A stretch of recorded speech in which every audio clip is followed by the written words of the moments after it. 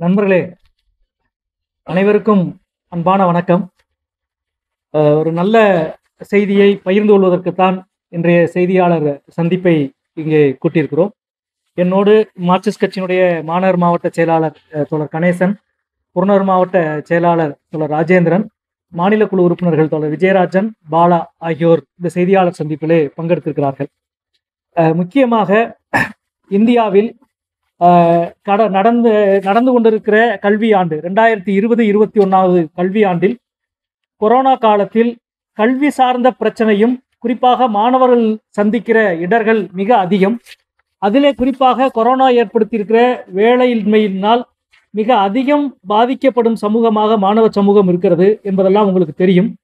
சமீபத்திலே வந்திருக்கிற புள்ளிவரம் மாணவர்களுக்கு உயர்கல்விக்கான கல்வி கடன் தருவதில் கடந்த ஆண்டை ஒப்பிடுகிற பொழுது தேசிய அளவில் ஐம்பத்தி நாலு சதவிகிதம் இந்த ஆண்டு கல்வி கடன் தொகை என்பது குறைந்திருக்கிறது என்று புள்ளிவிவரம் தெரிவிக்கிறது. இந்த பின்னணியில் மதுரை மாவட்டத்தில் நாம் நிகழ்த்தி இருக்கிற மிக முக்கியமான ஒரு சாதனை என்றே சொல்ல வேண்டும். இந்த ஆண்டு கல்வி கடன் என்பது நூறு கோடி என்ற இலக்கை இப்பொழுது நாம் அடைந்திருக்கிறோம். இந்த நல்ல செய்தியை உங்களோடு பகிர்ந்து கொள்வதற்காகத்தான் இந்த செய்தியாளர் சந்திப்பு. குறிப்பாக இந்த இலக்கை அடைந்தது தேசிய அளவில் மிக முக்கியமான ஒரு இலக்காக இந்த இலக்கு இருக்கிறது இருக்கும் என்பதையும் இந்த நேரத்தில் நான் தெரிவித்துக் கொள்கிறேன். கடந்த நான்கு மாதமாக இதற்காக தொடர்ச்சியாக உழைத்தோம். மதுரை மாவட்டத்தில் இருக்கிற முன்னூற்றி ஐம்பத்தி ஏழு மேல்நிலைப் பள்ளிகளிலும் மாணவர்களுக்கு கல்வி கடன் பெறுவதற்கான விழிப்புணர்வை உருவாக்குகிற முகாம்களை நடத்தினோம். தொடர்ச்சியாக மூன்று முறை ஆய்வுக் கூட்டங்களை மாவட்ட ஆட்சியரகத்தில் மாவட்ட ஆட்சியர் தலைமையில் வங்கி அதிகாரிகள் கல்வி அதிகாரிகள் மாநகராட்சி அதிகாரிகள் உள்ளிட்டவர்கள் பங்கெடுக்கிற மூன்று ஆய்வுக் கூட்டங்களை நடத்தினோம். அந்த ஆய்வுகளிலெல்லாம் நாம் ஒரு விஷயத்தை மிக முக்கியமாக கவனப்படுத்தினோம். அதாவது நீங்கள் எத்தனை பேருக்கு கல்வி கடன் கொடுக்கிறீர்கள் என்பதை விட யாருக்கெல்லாம் கல்வி கடன் மறுக்கிறீர்கள் என்பதை ஆய்வு பொருளாக எடுத்துக்கொள்ளப்படும் என்று சொல்லி கல்வி கடனை ரிஜெக்ட் பண்ண ஃபார்ம் மறுக்கப்பட்டவருடைய விண்ணப்பங்களைத்தான் ஆய்வுக்கு எடுத்தோம். ஒரு நியாயமில்லாத காரணத்திற்காக ஒரு மனு கூட மறுக்கப்படக்கூடாது என்பதிலே மிக உறுதியாக இருந்தோம். அவற்றினுடைய தொடர்ச்சியாக கடந்த அக்டோபர் இருபதாம் தேதி மதுரை அமெரிக்கன் கல்லூரியில் மிகப்பெரிய கல்வி கடன் சிறப்பு முகாம் நடத்தினோம். அதில் ஆயிரத்தி முன்னூற்றி ஐம்பத்தி ஐந்து மாணவர்கள் பங்கெடுத்தார்கள். உங்களுக்கு தெரியும் அன்றைய முகாமிலேயே பதினொன்று புள்ளி எண்பத்தி ஒரு கோடி ரூபாய் அன்றைக்கு முகாமிலேயே மாணவர்களுக்கு கல்வி கடனாக வழங்கப்பட்டது இவற்றுடைய தொடர்ச்சியாகத்தான் இப்பொழுது டிசம்பர் முப்பத்தி ஒன்றாம் தேதி வரையிலான கணக்கின் அடிப்படையில் நமக்கு நம்முடைய மாவட்டத்தில் ஆயிரத்தி தொண்ணூற்றி ஐந்து மாணவர்களுக்கு தொண்ணூற்றி ஒன்பது புள்ளி இருபத்தி ஒரு கோடி ரூபாய் சுமார் நூறு கோடி ரூபாய் கல்வி கடனாக இந்த ஆண்டு மதுரை மாவட்ட மாணவர்களுக்கு வழங்கப்பட்டிருக்கிறது. அதில் குறிப்பாக பனிரெண்டு தேசிய வங்கிகளின் மூலம் தொண்ணூற்றி ஒன்று புள்ளி பதிமூணு கோடி ரூபாயும் இருபது இருபத்தி எட்டு தனியார் வங்கிகள் மூலம் எட்டு புள்ளி பதினாறு கோடியும் வழங்கப்பட்டிருக்கிறது. இதில் மிக அதிகமாக கனரா வங்கி முப்பத்தி எட்டு புள்ளி இருபத்தி ஒரு கோடி மாணவர்களுக்கு கல்வி கடன் வழங்கியிருக்கிறது. அதற்கு அடுத்தபடியாக பாரத் ஸ்டேட் பேங்க் இருபத்தி ஏழு புள்ளி எண்பத்தி ஒன்பது கோடி மாணவர்களுக்கு கல்வி கடன் வழங்கியிருக்கிறது. எனவே இந்த நேரத்தில் கனரா வங்கியையும் பாரத ஸ்டேட் வங்கிக்கும் என்னுடைய பாராட்டுக்களை தெரிவித்துக் கொள்கிறேன். இதில் மிக முக்கியமாக குறிப்பிட வேண்டியது இந்த நான்கு மாதமும் இதற்காக தொடர்ச்சியாக பணியாற்றிய குறிப்பாக மாவட்ட ஆட்சியர் மாவட்ட நிர்வாகம் வங்கி நிர்வாகங்கள் குறிப்பாக மாவட்டத்தின் முன்னோடி வங்கியினுடைய மேலாளர் திரு அனில் உள்ளிட்ட வங்கி நிர்வாகிகள் அதே போல நாங்கள் மத நாடாளுமன்ற உறுப்பினர் அலுவலகத்தில் ஒரு தனி பிரிவே உருவாக்கியிருந்தோம். இப்பொழுது வரை அந்த பிரிவு செயல்பட்டு கொண்டிருக்கிறது. அந்த பிரிவில் இருக்கிற ஊழியர்கள் அதே போல மதுரை மாவட்டத்தில் கல்வி கடன் பற்றிய ஒரு பெரிய விழிப்புணர்வை உருவாக்கியதில் ஊடகங்களுக்கு மிக முக்கியமான பங்கு இருக்கிறது. எனவே மதுரை மாவட்ட ஊடக நண்பர்கள் அனைவருக்கும் என்னுடைய நன்றியை இந்த நேரத்தில் தெரிவித்துக் கொள்கிறேன். இப்பொழுது நாம் நூறு கோடியை அடைந்திருக்கிறோம். இப்பொழுது வரை இருக்கிற பெண்டிங் ஃபார்ம் வந்து முன்னூற்றி பத்தொம்போது ஃபார்ம் வந்து நிலுவையில் இருக்கிறது பரிசீலனையில் இருக்கிறது. பொதுத்துறை வங்கி மூலம். தனியார் வங்கிகளிடம் எட்டு பொதுத்துறை வங்கிகள் மூலம் முன்னூற்றி பதினொன்று மொத்தம் முன்னூற்றி பத்தொம்போது விண்ணப்பங்கள் இப்பொழுது பரிசீலனையில் இருக்கிறது. அவற்றில் பல விண்ணப்பங்கள் பரிசு ஏற்றுக்கொள்ளப்பட படலாம் அதே போல மருத்துவம் சார் கல்வியினுடைய அனுமதி வந்து அட்மிஷன் வந்து இனிமேல் தான் ஆரம்பிக்க போகுது. அவையெல்லாம் சேர்த்தால் இந்த ஆண்டு நூற்றி ஐம்பது கோடி என்ற இலக்கை நம்மால் அடைய முடியும். இது தமிழக மாவட்ட வரலாற்றில் அது இந்த கொரோனா காலத்தில் இந்திய அளவிலேயே ஒரு சிறந்த முன்னுதாரணமாக இருக்கும் என்பதை இந்த நேரத்திலே நான் தெரிவித்துக் கொள்கிறேன். நிராகரிக்கப்பட்ட இந்த நூறு விண்ணப்பங்களுக்குமான காரணம் முறை முறையாக நாங்கள் பரிசீலிப்போம். பொதுவான காரணங்கள் வந்து ஏற்கனவே நீங்க குறிப்பிட்டதை போல அதாவது அதிகாரப்பூர்வமான வங்கி திட்டங்கள் இல்லாத காரணங்களாகத்தான் இருக்கும். விதிமுறைகளுக்கு மீறிய காரணங்களாகத்தான் இருக்கலாம்.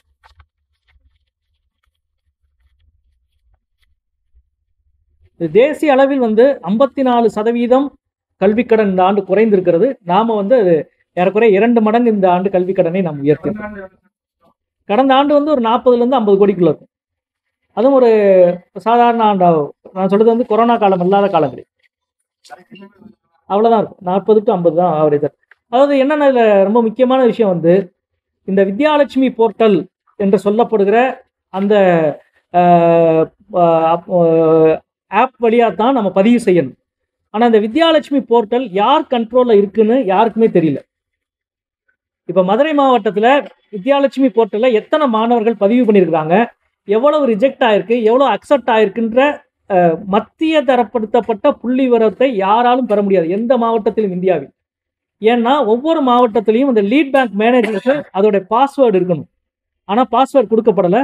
இது சம்பந்தமாக ஒன்றிய நிதியமைச்சரின் கவனத்துக்கு இரண்டு முறை நான் கடிதம் எழுதியிருக்கிறேன். இந்தியா முழுக்க முன்னோடி மாவட்ட முன்னோடி வங்கியினுடைய மேலாளருக்கு அதனுடைய திறவுகோல் பாஸ்வேர்டு வந்து கொடுத்தால் மட்டும்தான் கல்வி கடனை முறையாக பரிசீலிக்க முடியும். இல்லை என்றால் அவர்கள் அதிகாரிகள் சொல்லுறதான் கணக்கு. அதில் எவ்வளவு உண்மை இருக்கும் எவ்வளவு சரியா இருக்கும் என்பதை யாராலும் வந்து கிராஸ் செக் பண்ணவே முடியாது.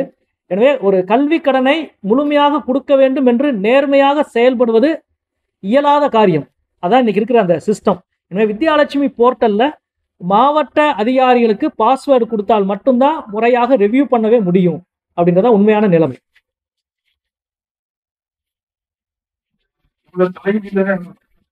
உரு உறுதியாக இல்லை பாதி கூட வந்தது. நீங்க மற்ற மாவட்டங்களை பக்கத்துல விருதுநகர் தேனி. அதாவது வந்து நான் வந்து நாடாளுமன்ற நிலைக்குழுவினுடைய கல்வி நிலைக்குழுவினுடைய உறுப்பினர். இந்தியாவினுடைய பல மாநிலங்களில் கல்வி கடனை பற்றி நாங்கள் வந்து ஆய்வு செஞ்சிருக்கிறோம். குறிப்பாக ஒரு நான்கு ஐந்து மாதத்துக்கு முன்பு சென்னையில் ஆய்வு பண்ணோம் மும்பையில் ஆய்வு பண்ணோம் அஹ், புனேல ஆய்வு பண்ணோம் அதே போல் ஜம்மு காஷ்மீர் ஆய்வு பண்ணோம். சில இடங்களில் குறிப்பாக மும்பை போன்ற நகரத்தில் கல்வி கடன் மிக அதிகமாக கொடுக்கப்படுகிறது. அந்த கேள்வியை தான் நான் எழுப்பியிருந்தேன். அதே போல் இந்த ஆண்டு ஜம்மு காஷ்மீரில் அதிகமான அளவு கல்வி கடன் கொடுக்கப்பட்டிருக்கு. பல்வேறு அரசியல் காரணங்கள் தான் ஆனால் நல்ல விஷயம் தான் கல்வி கடன் கொடுத்தது. இந்த இரண்டு இடமும் முக்கியமான இடம். மும்பையில் சாத்தியமாகிற ஒன்று ஏன் சென்னையிலோ மதுரையிலோ சாத்தியமாக இல்லை மும்பையில் பல வங்கியினுடைய தலைமையகம் இருக்கிற காரணங்களாலும் பல்வேறு காரணங்களாலும் அவர்கள் அதிகமாக கொடுக்கிறார்கள். எனவே மதுரையை ஒரு சிறந்த முன்னுதாரணமாக்க வேண்டும்.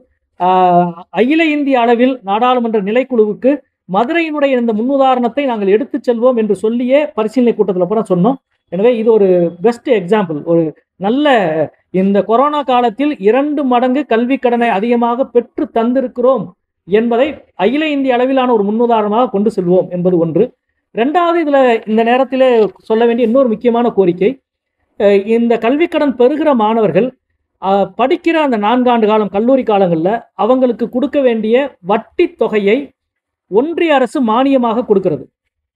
ஆனால் வங்கிகள் வந்து ஒன்றிய அரசிடமிருந்து நிதி வருகிற வரை அதை வர வைக்கிறது இல்லை வந்த பிறகு தான் வர வைக்கிறாங்க. அதில் கொஞ்சம் முன்ன பின்ன இருக்குது அதில் ஏற்படுகிற இடைவெளி மாணவர்களுடைய சுமையாக மாறுகிறது. எனவே நாங்கள் என்ன சொன்னோம்னா ஒன்றிய அரசு கொடுக்க வேண்டும் என்பது அதிகாரப்பூர்வமாக அறிவிச்சாச்சு. எனவே வங்கிகள் கல்வி கடன் கொடுத்த உடனேயே வட்டி தொகையை ஒன்றிய அரசின் பகுதியிலிருந்து வரவு வைத்துக் கொள்ள வேண்டும். அதை மீண்டும் வந்து அதை வந்து நிலுவைக் கடனாக வைக்கக்கூடாது என்பதையும் என்னுடைய கோரிக்கையாக ஒன்றிய நிதியமைச்சரிடம் வலியுறுத்த இருக்கிறேன். வட்டித்தொகை தொகை அந்த நாலாண்டு காலம் கல்வி காலம் முழுக்க மானியமாக கொடுக்கப்படும். நாலு வருஷமோ அஞ்சு வருஷமோ அந்த அது அது ஒட்டு மொத்தத்தில் அந்த கணக்கில் டிஃப்ரென்ஸ் இருக்கு. அது என்னன்னு ஒரு புதிராத புரியா இருக்கு. அது வந்து மாணவர்கள் மீது சுமையாக விழுகுது. எப்படினாலும் அதுக்கு அதுக்கு பொறுப்பு வந்து ஒன்றிய அரசு தான். எனவே நீங்க எடுத்த உடனே அதை வந்து நீங்க வர வச்சுக்கோங்க அப்படின்னு நம்ம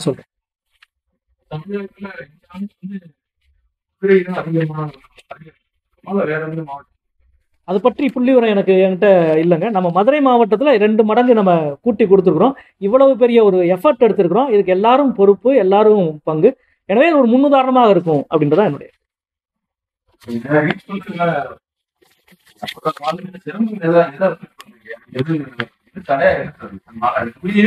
வேணும் அதாவது அரசாங்கம் திட்டம் போட்டு மாணவர்கள் படிக்கணும் ஒரு திட்டம் போட்டு இப்ப இப்போ பதினஞ்சு வருஷமா இருக்கு இன்னமும் வந்து ஒரு எம்பி தலையீடு ஒரு கலெக்டர் வந்தாதான் அந்த கடன் கிடைக்கும்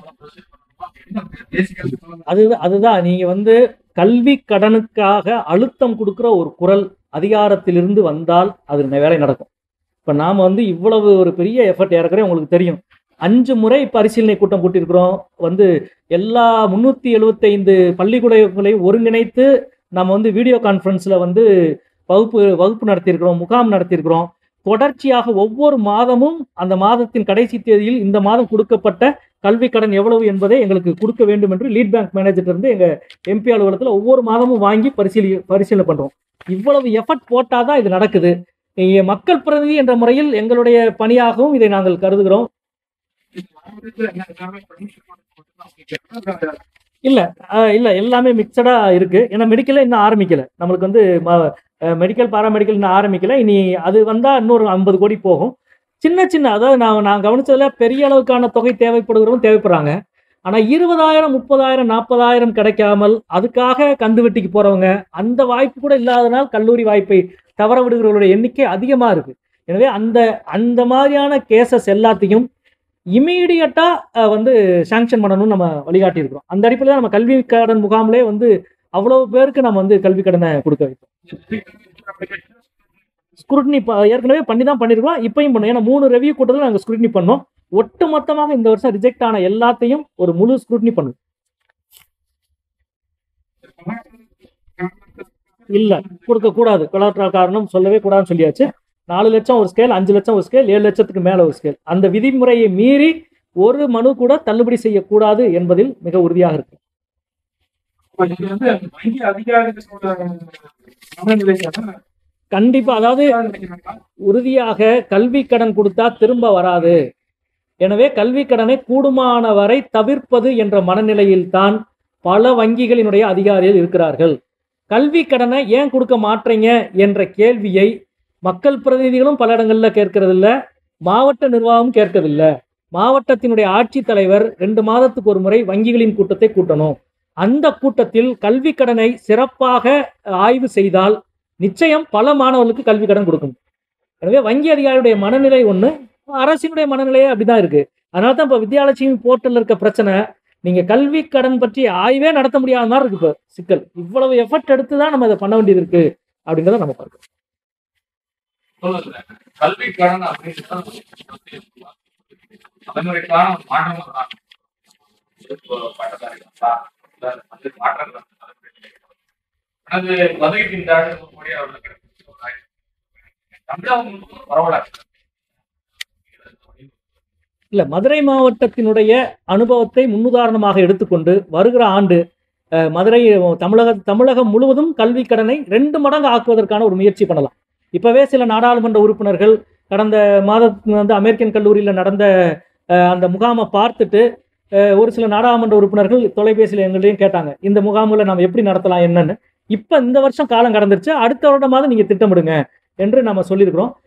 மக்களவை உறுப்பினர்களும் ஒரு கூடுதல் முயற்சி செய்யலாம். குறிப்பாக அரசு அரசு நினைத்து மாவட்ட நிர்வாகம் நினை மாவட்ட நிர்வாகம் ஒரு முயற்சி எடுத்தால் வங்கிகளை ஒரு கூடுதலாக இதை கொடுக்க வைக்கலாம். வங்கிகளை அதாவது சட்டப்படி கொடுக்கணுங்க. ஆனால் அதை ரிஜெக்ட் பண்ணுறதுக்கான பல காரணங்களை இவர்கள் வந்து வாய்மொழியாக சொல்லுகிறார்கள். அந்த காரணத்தை அனுமதிக்க முடியாது என்பதில் உறுதியாக இருந்தால் பல மாணவர்கள் அதாவது கட்டணம் செலுத்தாமல் உயர்கல்வியை தவற விடுகிற மாணவர்கள் யாரும் இருக்கக்கூடாது என்ற லட்சியத்தில் தான் மதுரை மாவட்டத்திலே நாம் இதை செய்தோம். இதை தமிழகம் முழுவதும் ஒரு முன்னுதாரணமாக எடுத்துக்கொள்ளலாம்?